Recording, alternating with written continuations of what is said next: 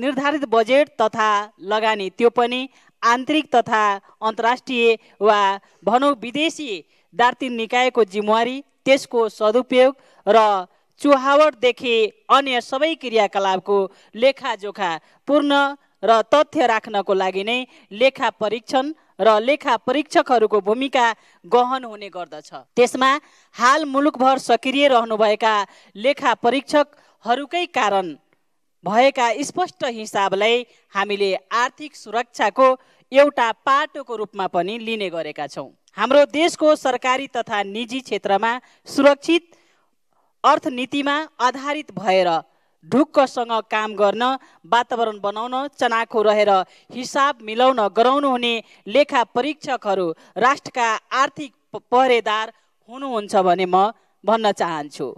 तपाईँहरूको पहरेदारी र खबरदारी नै मुलुकमा हुने हरेक आर्थिक क्रियाकलाप सुरक्षित रहँदै आएको छ। आफ्नो देशभित्रका आर्थिक क्रियाकलापसँगै अन्तर अन्तर्देशीय आर्थिक सम्बन्ध सामेन समेत राख्दै आएको नेपाली जस्तो मुलुकमा स्पष्ट लेखा परीक्षण हुन अत्यन्तै जरुरी छ।